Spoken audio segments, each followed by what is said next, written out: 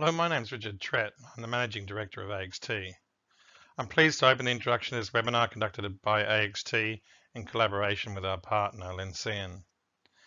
AXT is a dynamic distributor of high-tech instrumentation in Australia and New Zealand and have a large product range covering microscopy, microanalysis, nanofabrication and nanotechnology.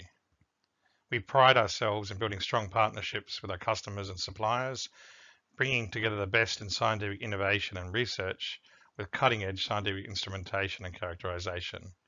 Truly unique tools to facilitate your research.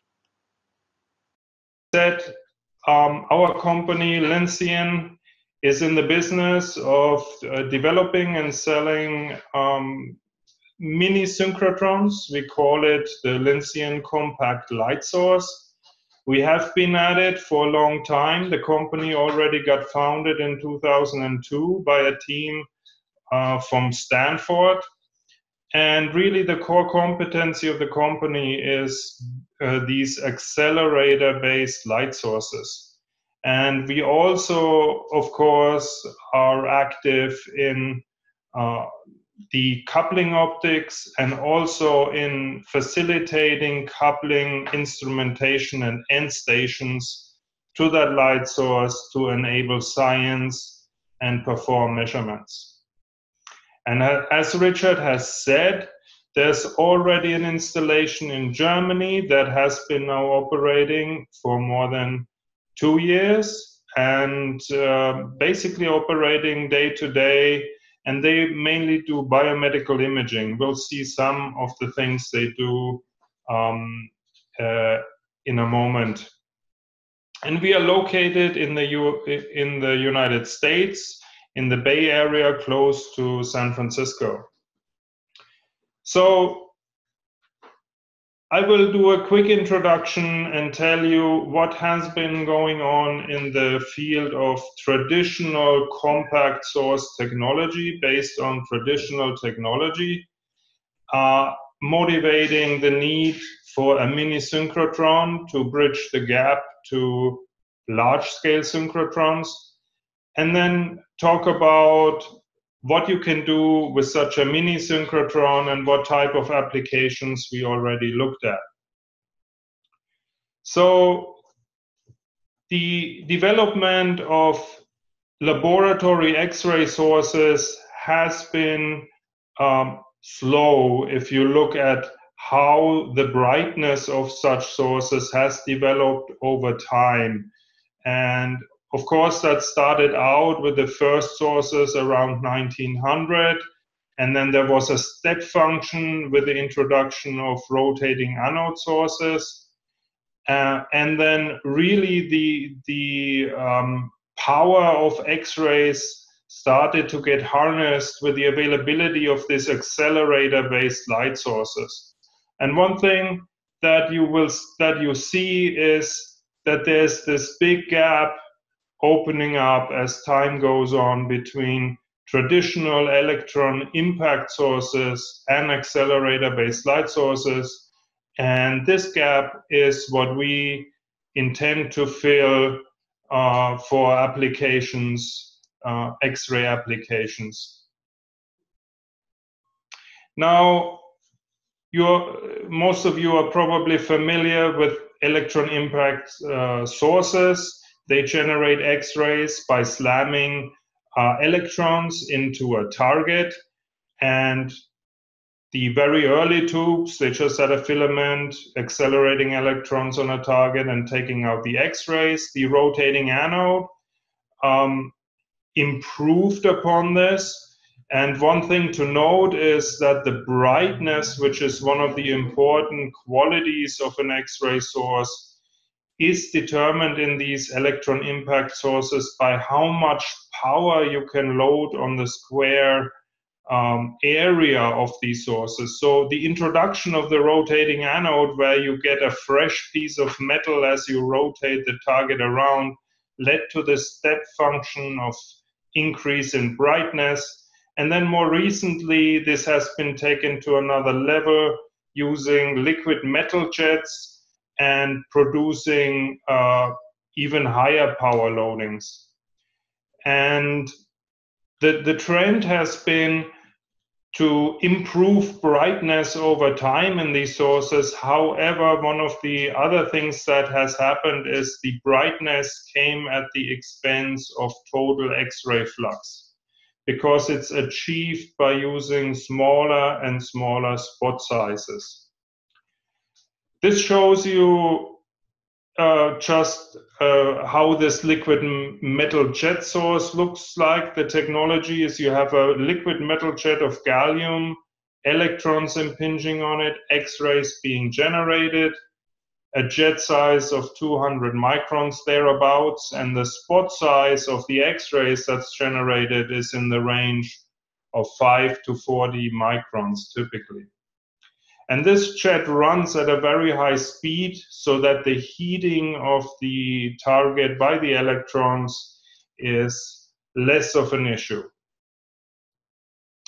Uh, these sources can reach, for very small spot sizes, quite a bit increase in brightness, which gives them a, a measurable advantage over other stationary and rotating anode um, sources. And this is a commercial product. Uh, this has been uh, shared with Excillum. Um, you can buy this off the shelf. And just to summarize that, the liquid metal jet, it has a high brightness. That means many photons per pixel in a, in a focusing application, but it has a very small spot size, which requires uh, careful X-ray optics to preserve the flux. Another big advantage, uh, disadvantage that all of these electron impact sources share is it, they have a fixed X-ray energy. So there's no spectroscopic capability. Um, the liquid metal jet uh, this this year was meant to talk about X-ray microscopes. So X-ray microscopes with liquid metal jet. There's two two um, prototypes in operation. No publications yet. Uh, but liquid metal jets are quite widely used, and I think they have on the order of approaching uh, 50 systems installed in the field. Um, Another development recently over the last few years is by uh, my fellow uh, colleague Wen Bing Yun, who formed a company called SIGRAY, and he's approaching this uh, with, from a different direction, still slamming electrons into a target. Uh, and in a regular target, what you have is this heat problem. You have a heat zone building up you, you reach the melting point and that leads to target failure. He has developed a technology where he structures the target with a high conductivity material. This is diamond, low density. And what happens then when the electrons are impinging is that the heat that's generated in these structures can be removed much more efficiently. And he also took this uh, yet to to another uh, direction in that he he also developed a, a, source where he has a structured target where he looks at the target sideways to amplify the uh, emission from these targets. Now his developments, SIGRAY's developments, they also address the brightness also have a small spot. um, they have one advantage over the liquid metal jet is you can use different target materials in the same source and he demonstrated up to four right now that enable to do elemental imaging but really it's not tunable so you cannot do spectroscopy In terms of X-ray microscopy, there's a microscope in development, but no, publications yet. Now, this motivates uh, uh, the need for a mini synchrotron, and I'm going to describe to you now the technology around our synchrotron. Um, you're familiar with the big synchrotrons. You have one in Australia, in Melbourne. These are can be considered as kind of the supercomputers of X-ray science. They are quite expensive to build and maintain, and also access to these facilities is uh, somewhat restrictive.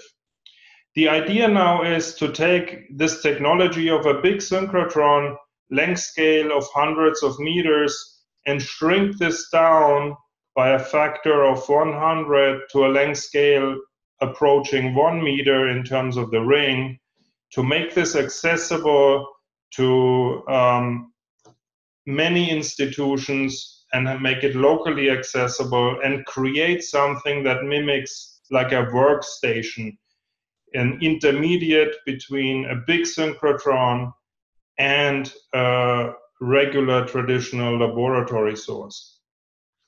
Now the question, how can you actually um, do this? How can you shrink a synchrotron by a factor of 100 and still make the hard X-rays that are produced by these big facilities? So typical big synchrotrons, they are large, they use a very uh, large electron energy, they use undulators for insertion devices to create X-rays, and these undulators are permanent magnets.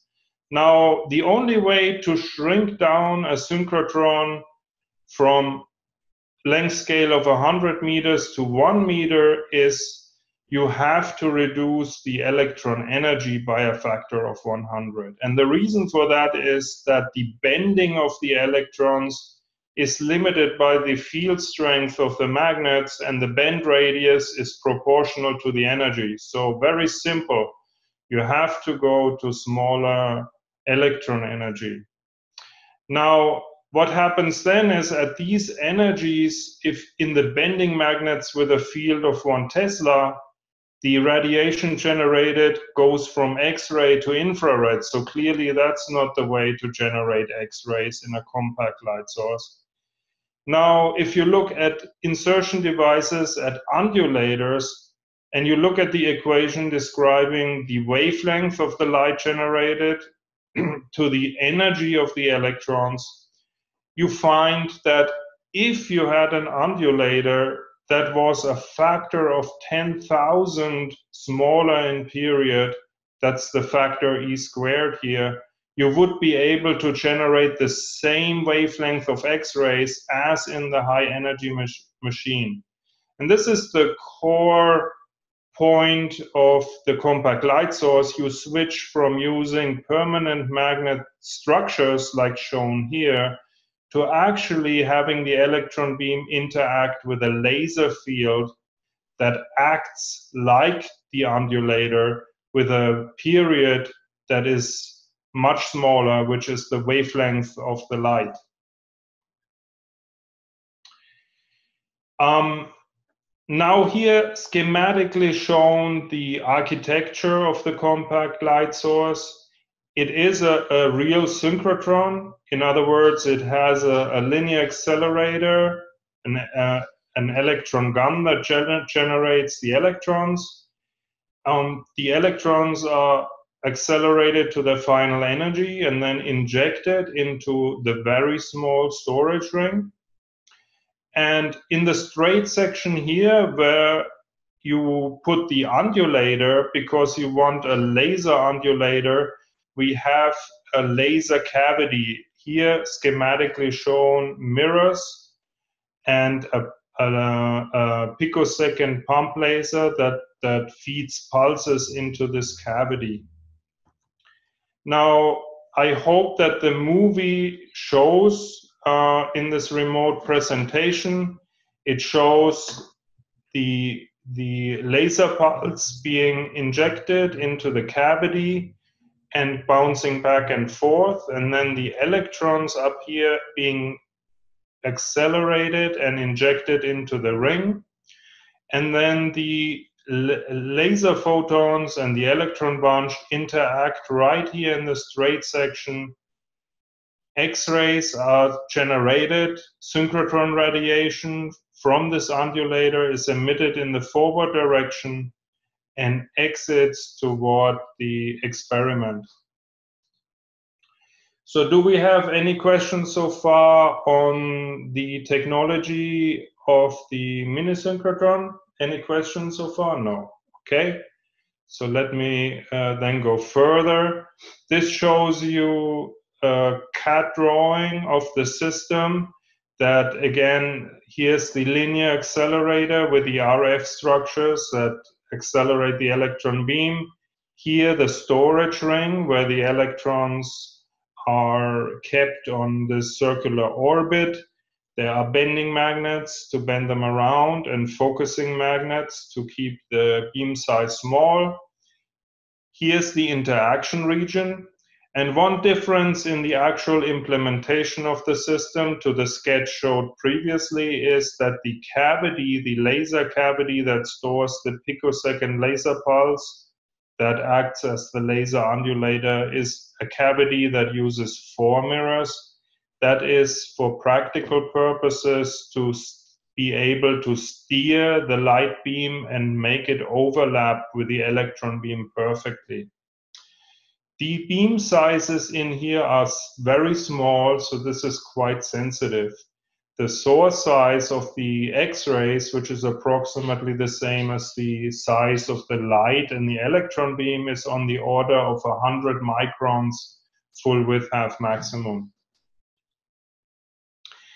This here shows you a picture of the system which has been shipped to Munich and installed there. So you see again here the linear accelerator, the ring is up here, the X-rays exit through an exit window here, and then go through the shielded enclosure, which is ne necessary to enclose the system into the experimental area on the other side. Now, this is a true synchrotron, so you can tune the X-ray energy. However, there's one key difference. In a synchrotron, when you have an undulator, you would open and close the undulator gap to change the energy. This is not really possible in our system because we have what's the equivalent of a fixed undulator gap. So the way that we tune the energy in our system is by increasing or decreasing the electron beam energy. And we have quite a bit of tunability that allows us, this is shown for the system in Munich, to tune the energy there from 15 to 35 keV, uh, pretty much continuously. And there's a little detector artifact here, which is not, not really present. And what you get is really the output that looks like an undulator spectrum. It has only a few percent full width half maximum, so very monochromatic. One key difference to a synchrotron is there is no higher harmonic generation, so you do not end up with multiples of the space energy, which is very convenient for experimental setups since you, since you don't have to do harmonic rejection. Now, how many X-rays can you get out of such a system? The equation which actually describes the generation of X-rays is very simple. It says that the X-ray flux is given by the luminosity of the interaction of the electrons with the light photons multiplied with the Thomson cross section. Now, one big hurdle for making a practical source is that this Thomson cross section is incredibly small. It's 10 to the minus 29 square meters. So the luminosity of this interaction has to be very high to get a high X-ray flux. Now the luminosity is given by the frequency of the interaction and the product of the um, of the uh, photon and electron numbers within the cross section where they interact, and then divided by the cross sectional area of the interaction. Now, in our system, this is addressed by having a very high interaction frequency. This is the principal reason why you need an electron storage ring and not only a linear accelerator with a laser firing at the linear accelerator. This gives you a very high repetition rate. So you already have seven orders of magnitude right here with the collision frequency.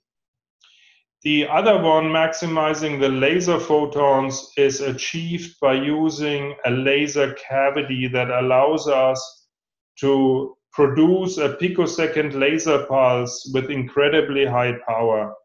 The system in Munich, after an upgrade that we did last year, has a laser power in the cavity of 300 kilowatts, which is a, a very high um, stored power.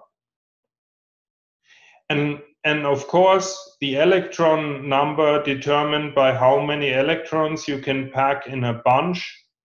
And this is facilitated by the linear accelerator and the ability to inject and store a, a very high electron charge. And of course, you need to focus them down. We focus them down to about 100 micrometers to get the cross sectional area very small so that this denominator here uh, is is very small. Now, putting in the numbers, what do you get? Uh, the system in Munich, which we call the version 1.1 because we upgraded it last year, produces an X-ray flux within the natural bandwidth of 3 times 10 to the 10 photon per second at a source size in RMS of 45 microns. This is a, a, strongly collimated beam that has a divergence of only 4 milliradians and produces a source brightness in terms of the natural bandwidth of 5 times 10 to the 11 photons per second per square um, milliradian per square millimeter in the natural bandwidth of the emission. The tunable X-ray energy range of the system is from 8 to 35 keV and using an infrared 1 micron laser. And of course, as a synchrotron, it also shares the time characteristics. Um, however, for most experiments, this is not really a consideration because you look at the source as a quasi-continuous source. The next system that we are going to build and that we are currently offering to customers is again an improvement on the system that we already have. It will increase the total flux and brightness by about another order of magnitude and uh, achieve that by uh, mainly upgrades to the electron beam system that we have uh, currently uh, developed. In the future, and I'm talking here uh, time scales of five to 10 years, we already identified more projects to increase the flux and brightness uh, by another order of magnitude. Um, and also because of the energy range, we have also been looking into ways to extend the energy range to lower energies. This is especially important for analytical applications like spectroscopy and to go to higher energy applications up to 100 keV monochromatic and we do that by using different wavelength uh, with laser light.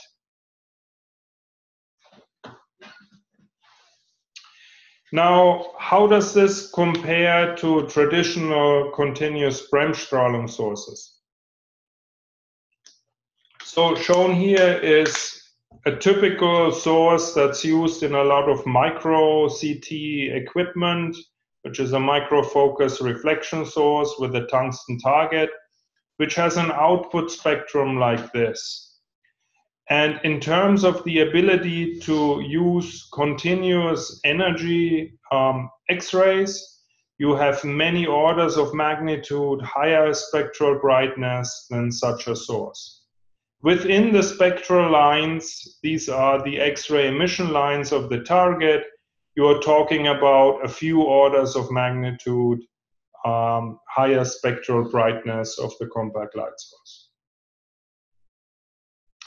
Now, here is a comparison to kind of the state of the art or cutting edge um, sources.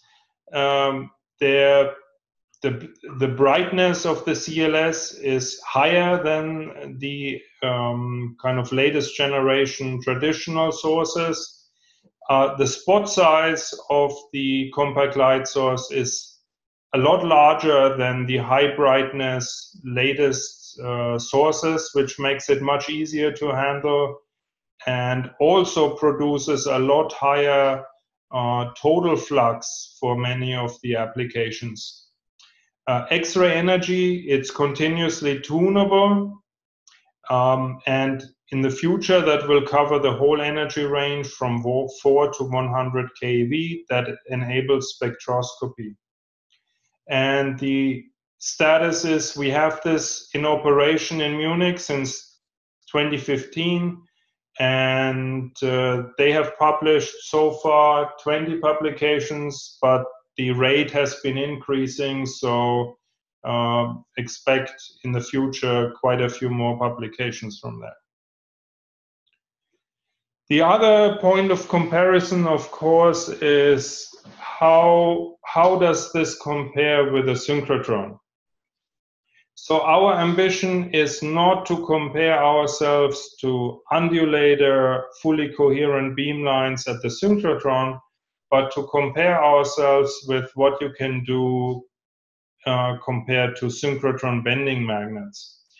And depending on uh, which synchrotron you pick, uh, uh kind of old, uh, old generation synchrotron or the newer generation synchrotrons, and depending on which monochromator, monochromator you use, what you can see is that in a focusing beam application with the Lyncean compact light source, you will reach flux levels in focus that are comparable to synchrotrons and in cases where you can use a multi-layer focusing system instead of the, the widely used silicon monochromators, even comparable, very comparable performance to synchrotrons.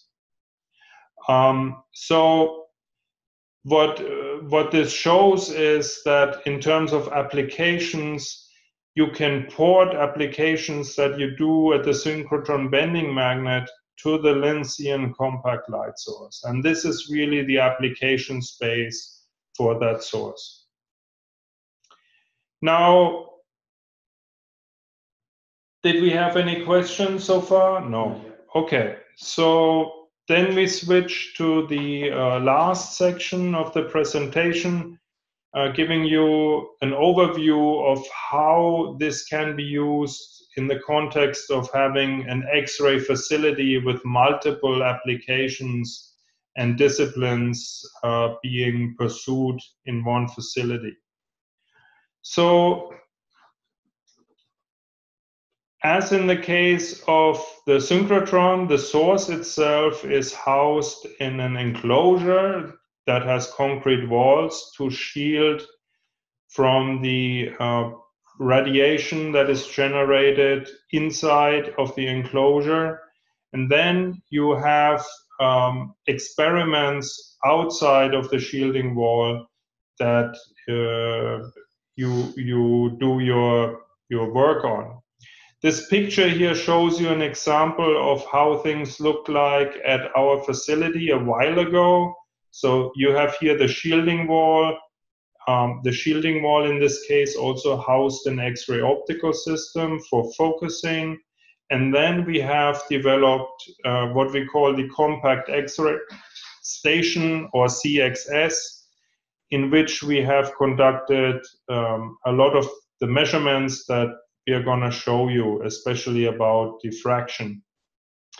And our our um, proposal to customers is rather than building fixed hutches like you would do at the synchrotron, uh, use the benefits of the compact light source in terms of not having higher harmonics, only having a, a very limited um, power in the X-ray beam, to have portable stations that can be easily exchanged. So then you can have many of these stations arranged along the beam to serve the different measurement needs. So in the first example, very close to the source, one example of an application is high resolution imaging. That means uh, optics-based imaging. This is this actually shows you an X-ray microscope that I myself helped develop at Xradia that is meant to be for synchrotron applications. Um, it turns out that the properties of the compact light source, especially using a lower energy flavor of the compact light source, is very well matched to the requirements of matching such a system to the source. So you can uh, do field of view matching, 15 to 100 micrometers, and you get quite high flux in uh, the system that enables short measurement times. And we have also developed a concept to integrate a crystal monochromator uh, in the detector area to get the same type of energy resolution as at the synchrotron using a crystal monochromator to obtain spectroscopic information. So what this system can enable is to do full XANES spectroscopy, 3D images at resolutions down to 30 nanometers, as is done at the synchrotrons. However, at the synchrotron, the state of the art is that you can have exposure times on the order of seconds. Uh, in this system, the exposure times that have been calculated will be slightly longer, so that will be on the order of tens of seconds or a few minutes per exposure. Another application close to the source is diffraction that also uses a focused beam um, in a one-to-one focusing geometry. And this was the application for which originally the funding was provided by the National Institute of Health to develop our source.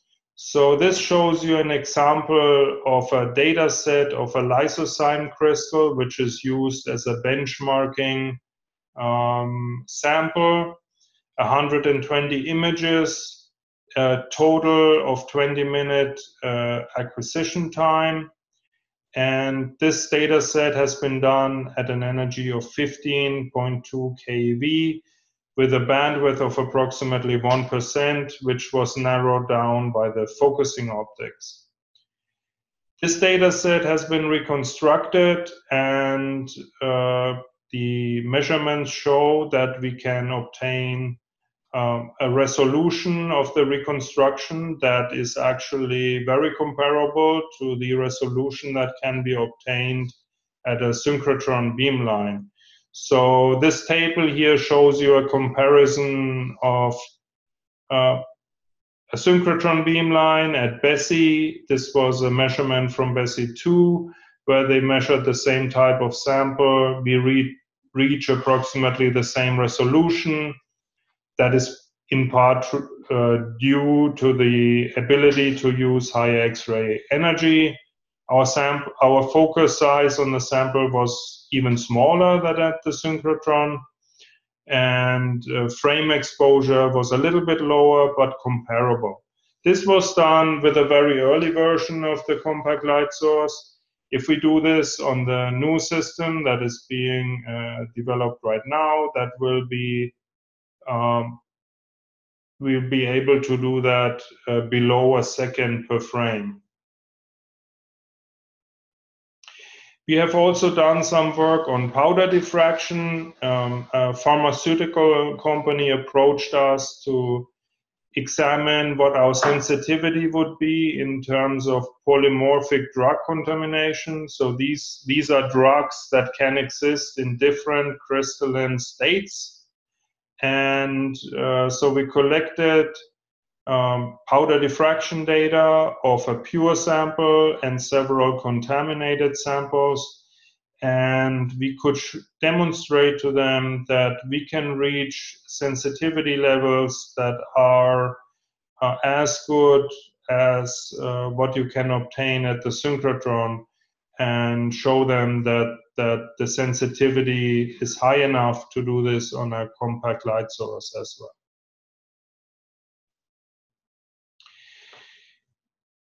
Also very close to the source in a focusing geometry, one can do spectroscopic measurements. It turns out that the energy tunability of our source, uh, depending on the kind of version that we are using, um, so there's two different versions, a low energy version in blue and, and the what we call standard version in green you can cover a lot of the K and L edges on the periodic table to do spectroscopy. You are very familiar with the spectroscopic mapping uh, work that is being done at the Australian synchrotron, shown here the ex example that is uh, very, has very high visibility of uh, reconstructing a painting that was painted over. And the, the reason we like to use this as an example is the, the key requirements why this had to be done at the synchrotron and not using a laboratory system is that you required very high flux because there's a lot of pixels, uh, about 32 megapixels, and it also required energy tunability to avoid uh, interferences with other emission lines. And this is something that can be done on a compact light source as well. This fluorescence mapping work. The main difference to the synchrotron is that the spot size on the sample at a synchrotron can be smaller for the equivalent uh, throughput. So that can be a factor of 10 or up to a factor of 100 smaller. Another thing that we have been working on together with a customer is the question of how can you uh, implement X-ray absorption spectroscopy on our source efficiently. And we have come up with a scheme of using the direct beam from the source with a polychromator to disperse the X-ray energies and using a pixelated detector to then detect all of the energies simultaneously on this detector.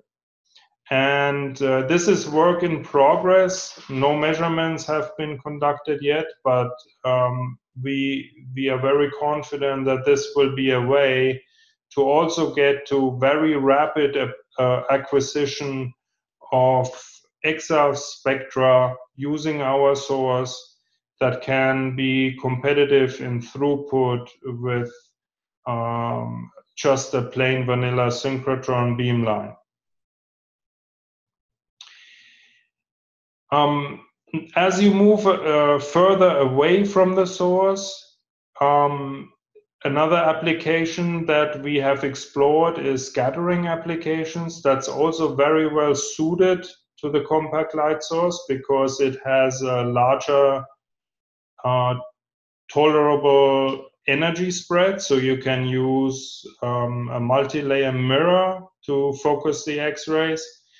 So we have performed preliminary measurements on samples from the National Institute of Standards and Technology, where we put into the beam uh, semiconductor structures and used our existing optic detuned uh, to get uh, somewhat of a magnification through the sample onto a detector.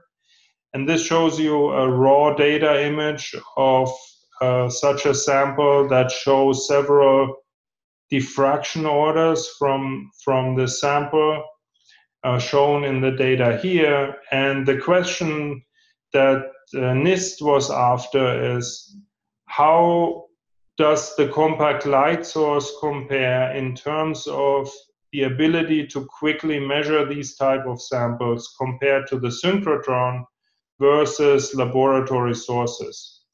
And to char characterize that, data was taken with different integration times and measuring the intensity in one of these diffraction peaks. And of course, this should be a straight line as is shown here. And what you can see here in red is the data for the compact light source, much higher than the system that they have at NIST, which is based on a molybdenum K alpha uh, source.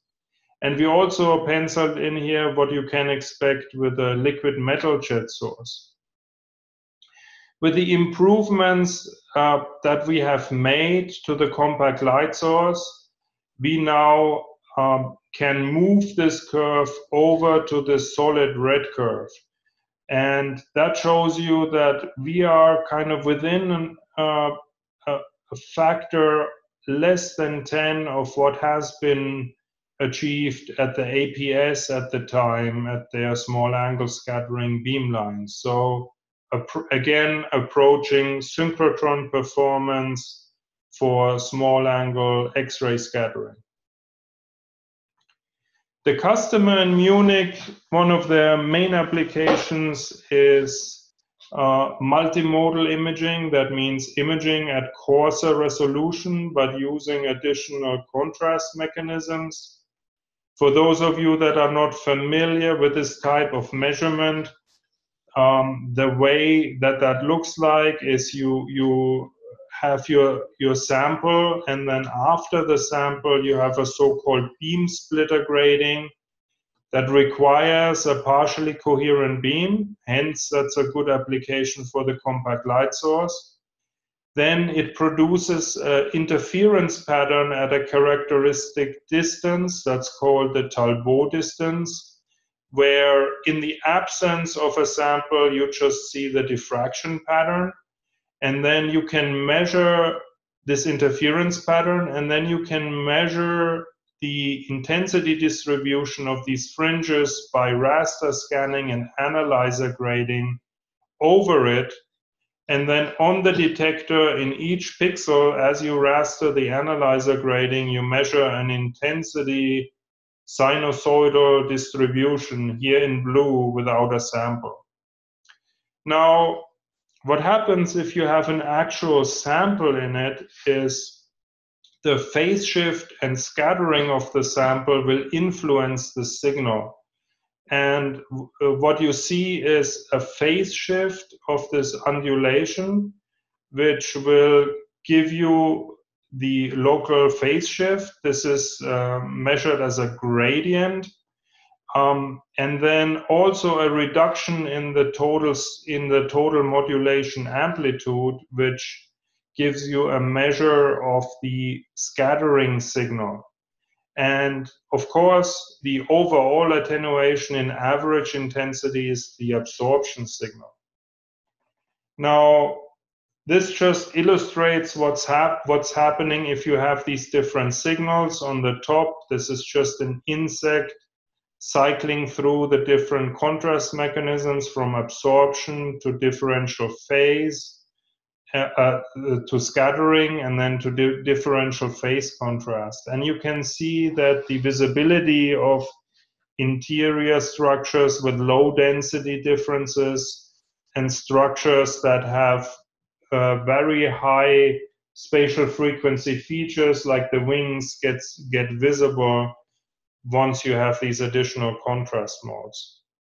They employ this mainly for biomedical research. This is an early example of measurements that have been done at our factory in collaboration with a customer in Munich, where they have shown that you can devise combining absorption and scattering signal a way to diagnose diseased lungs where the fine structure of the lung is collapsing. That's called a disease called um, emphysema. So this shows you the difference in signals from a diseased lung where you have a big loss in scattering signal versus the control sample that has no uh, visible degradation in the uh, scattering signal and hence these are healthy lungs. Again, these, these measurements not performed on humans. These are, in this case, were uh, excised lung samples from mice. They also do uh, investigation of human applications for, in this case, for breast cancer. That is a more recent publication of data that has been collected in, in Munich. And this not only is a multimodal image, it is also a quasi 3D reconstruction using not a full 3D data set, but a partially a partial angle data set reconstructed by a method called tomosynthesis that shows that if you compare absorption with differential phase contrast imaging with the scattering contrast imaging, you can generate contrast and see detail in the cancer tissue that is not really visible in in the absorption image. So there is potential in using this technology for to increase um, the diagnostic uh, capabilities of medical imaging devices. Um, and then, of course, rather than doing multimodal imaging, you can also just do larger sample imaging. Why would you want to do that with the compact light source? Is because you have a monochromatic beam, so you don't have issues with uh, beam hardening. You get quantitative data. You can tune your energy, and Munich now has started to work on using absorption edges to do functional imaging, to actually have samples that have absorption agents like iodine uh, to label specific function. Um, in the future, there will be a capability to go up to 100 kV of X-ray energy, and you have the advantage that you have a high flux, so it's a quasi-synchrotron experience, and also the beam is quasi-parallel, very collimated, which uh, if you want to do higher resolution imaging, makes it compatible with using optical magnification scintillator detection systems. So in conclusion, um, we use here X-ray microscopy as an example. The, the resources are limited at the synchrotron. You need higher performing laboratory systems. Um, there are some developments on traditional sources uh, that can enable somewhat higher throughput and even a limited amount of elemental imaging. But to get the full capability, um, to enable applications, full spectroscopy, doing in situ dynamic studies in 3D, which requires a lot of throughput, and to go to the highest resolution that's only achievable at the synchrotron. The pathway of choosing a Lyncean compact light source is a very attractive one. Um, and in conclusion, we believe that the future of laboratory X-ray microscopy and X-ray applications in general is very bright. So just the material I showed on the other traditional source developments, they come from Wenbing Yun and Hans Hertz. Uh, so want to acknowledge that. And of course, want to acknowledge our whole team uh, here that that made this development possible. So thank you very much for your attention and we can now switch to answering some questions. So uh, Kasahara, who's here with me, he can probably read out what the questions are and then I can address them. Yes, so one, one of the questions is uh, whether in the near future it'll be possible to achieve a submicron range spot size, or is that something that's only going to be achievable at the synchrotron? Uh, so, uh, of course, you can achieve a micron or submicron spot size. However, in uh, that comes at the expense of flux. And like, let's take, for example, the X-ray fluorescence mapping application. So we can have a very competitive throughput with spot sizes ranging from 100 micrometer, which would be a one-to-one uh, focusing of the source to the sample. And then we can demagnify the spot by up to a factor of about three without compromising the flux. However, if you shrink the spot size further, then you start losing X-ray flux because you you are limited in that case by the available brightness of the source and and uh, at one point it will become uh, less favorable compared to the synchrotron. So that the way I look at it from a practical standpoint is to get comparable performance in terms of throughput.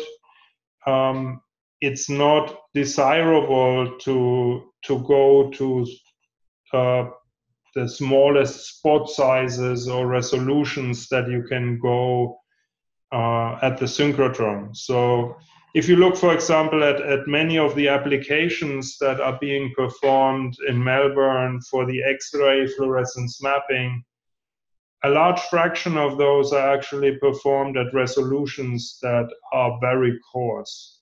And those are very well suited to the compact light source. But I would say if you look sub-micron or approaching using X-ray optics to go down to 100 nanometer of spot size or so, then you still are better off going to the synchrotron. So there's another question about uh, applications. Um, so the question is whether it's possible to do imaging under special conditions, such as under humidity or under different temperatures. So my my answer to that uh, would be there's no there is no difference in in doing measurements with ambient control to the synchrotron. You need to have the right hardware, of course, to control the environments. So far, here at Lyncean, we have not um, developed ourselves these ambient uh, environmental control systems to include that. Also in Munich, they have not really uh, utilized that uh, so far. And our philosophy is typically to look for um, uh, other companies or researchers to to um, provide these solutions to be integrated for our customers. So just taking taking um, one example, let's say for small angle scattering, we are actually recommending to customers to look at a solution uh, that is sold by another company, um, which is SAXSLAB, uh, that has worked with us to come up with a system that can easily be coupled to our source and that will perform right out of the box with the same user experience and reliability as a one of their regular laboratory systems, of course, with a much higher performance, the energy tunability, and so forth. So there's a, a couple of um, operations questions about the source. So one is, do you continuously inject or top off the uh, synchrotron? Um, is there a significant loss in in uh, for every X-ray photon that's being created? Okay, so so that's very easy to answer. Um, the the effect of the X-ray generation is not really observable uh, in the synchrotron because we are re-injecting a new bunch into the synchrotron um, every 10 milliseconds or so. So there is no time for beam decay or X-ray generation to affect the electron beam properties. And really, the, the dominating effect in the source is not the interaction with the X rays, but the dampening of the beam intensity, electron beam intensity by um, other effects. So another operational question is how stable is the source? Is operator intervention uh, required to keep the laser and e-beam optimally aligned? Okay, so that's also a very good question. And initially, when we delivered the source, uh, we delivered the source without a beam feedback system. And even without a beam feedback system, if the ambient controls inside of the enclosure of the source are to specifications, the source is very stable. So the initial acceptance criteria were actually stable operation for a period of three hours without operator uh, intervention, which we have easily achieved. Um, now, more recently, within the last half, uh, last year, we have collaborated with Munich to actually have an in situ beam monitor that monitors continuously the intensity, the position of the beam, so that we can actively uh, feedback the system in an automated fashion without any user uh, intervention. And uh, just to say, we don't have anybody of our company stationed over there. The, the source is run by um, graduate students and uh, staff at Munich. There, there is a training that's necessary to operate the source. So uh, it's it's not like a TV that you operate immediately, but it's uh, after a few days of training, people are able to start up the source, get it uh, get it into operational mode and then perform the experiments. The expertise required i would compare with what you would find at a synchrotron in terms of a beamline scientist or beamline technician that needs to align a beamline.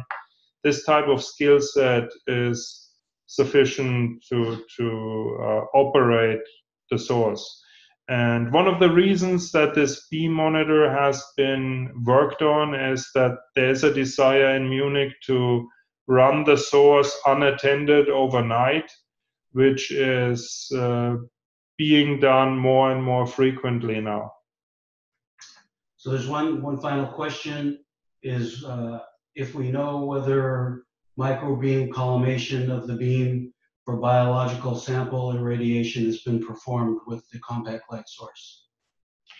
So in Munich, uh, they have a, a program to do microbeam radiation of, um, they, they started out with cell cultures and now have switched to irradiating um, uh, mice with a structured uh, X-ray beam. So that has been uh, already done, and uh, it's it's an interesting area for us in the future to see where that field goes. Because if you think about um, practical treatment options using a structured beam like that, synchrotrons are not really very practical, and we would be positioned to um, actually develop systems that could be used for, for treatment if this microbeam radiation was taking off in the future. There's one more question came in. Uh, how many permanent staff would you recommend for maintenance and operation? So um, our source, the way we handle this, uh, the customer is not responsible or takes care of the maintenance of the source. Uh, that is something that we we have a contract and we perform. We go there every three months for a preventative maintenance visit, and we also do remote support or on-demand visits if there's an issue with the source to get it back in full uh, specification working order. So uh, customer doesn't really uh, take care of the maintenance. In terms of the operation, I would say uh, the goal always should be to have a 24/7 operation for a source like that, the same as the synchrotron, and uh, so that that determines that you have to have somebody available that is trained to actually uh, facilitate the experiments. In Munich, in most cases, the people that do the measurements and perform the experiments also do the setup and, and kind of if there's any intervention needed on the source. So I would say very similar in terms of staffing need to a beam line at a synchrotron. Okay, so there is no more questions. So I would ask um, AXT to perhaps take back over and conclude the webinar. Sure, I'm, I've just unmuted myself. Um, uh, yeah, look, it, it, feel free. What I would suggest is if there are any other questions, I'm sure people have seen a couple other questions come in. I'm, I'm happy to answer them uh, offline via email. Uh, uh, you know, send it to uh, you, you, know, um, send it to AXT is fine. Um, also, just as a, a, word of a reminder that uh, that Michael, you um, you discussed the uh, FAAST source by Sigray. That we're actually having a Sigray presentation in a couple of weeks. It's another webinar. So if people want to uh, be invited to that one, please remember that, that that one is occurring in a couple of weeks. I think that's to discuss their um, the AttoMap and the source itself, but I think their AttoMap and their Quantum Leap uh, system, which is their um, uh, system. But um, so in terms of the you know um, following on from this webinar, we're happy to have discussions with everybody to answer uh, uh any further questions in regards to upkeep and all the rest of it. And then also in terms of, uh, I guess, gathering interest and gathering a kind of interested community in in New South Wales to um, you know to look at the, the potential for getting a system into the country.